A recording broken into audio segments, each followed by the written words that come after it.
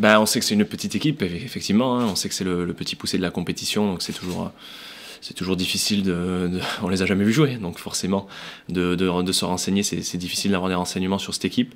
On va en avoir euh, par l'intermédiaire du staff et de la, de la cellule vidéo euh, dans la journée d'aujourd'hui et de demain, donc, donc on verra, mais. Euh, mais on sait que c'est un petit poussé qui aura à cœur forcément de, de prouver qu'ils ne sont pas là par hasard. Mais, mais nous, on est, très serein sur, sur, notre, plan de jeu et sur comment aborder. En tout cas, on va les respecter. C'est le, plus important à faire et de tout mettre en œuvre pour que justement ce petit poussé s'arrête. On sait que la Coupe de France c'est super comme aventure. Hein. Si on peut aller, euh, si on peut aller euh, le plus loin possible, on pas, va pas se gêner, on va pas s'en priver.